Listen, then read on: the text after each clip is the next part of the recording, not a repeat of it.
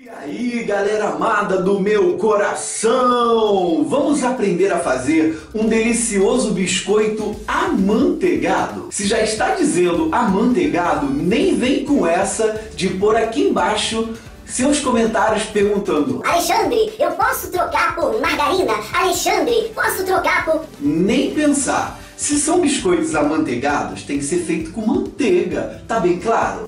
Tá claro.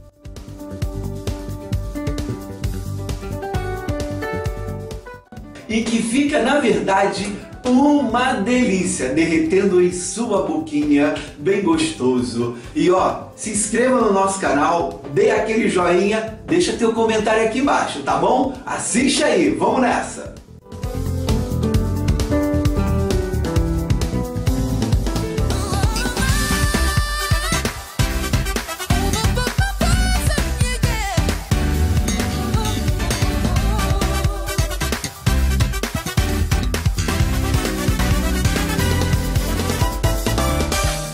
Agora que eu vou colocar a manteiga junto com a farinha de trigo, com as mãos delicadamente eu vou amassar fazendo uma farofa. Não é para amassar muito esse primeiro processo.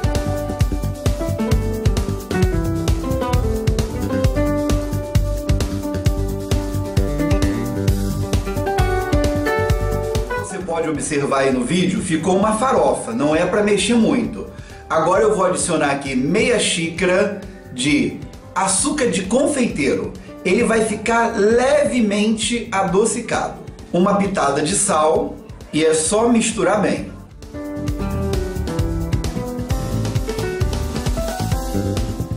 ml de creme de leite.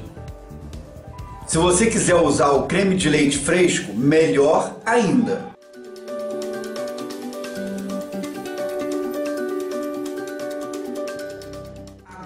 É só amassar com as mãos novamente, mas não amassar muito, até que venha virar uma massa lisa. Esse é o ponto correto da nossa massa.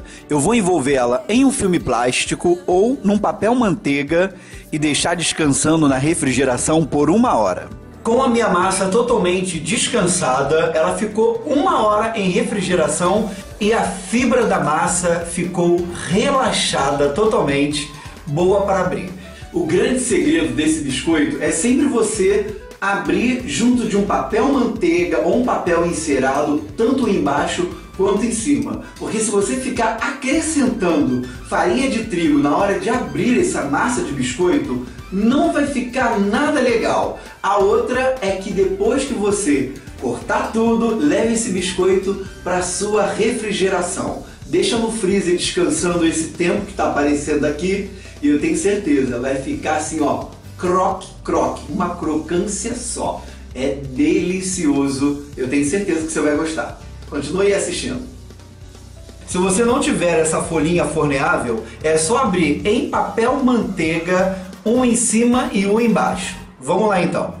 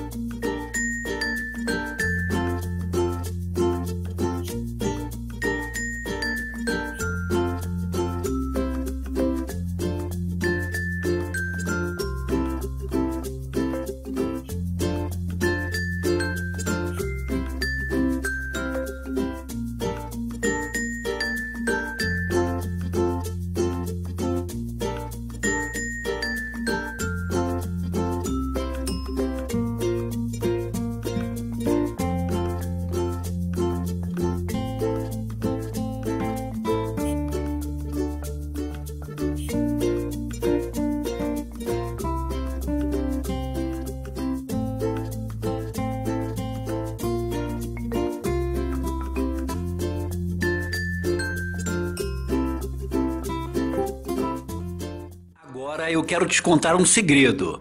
Antes de você levar ao forno a 180 graus, leve os biscoitos para o freezer por 3 minutos. Esse é o grande segredo para que seus biscoitos fiquem crocantes.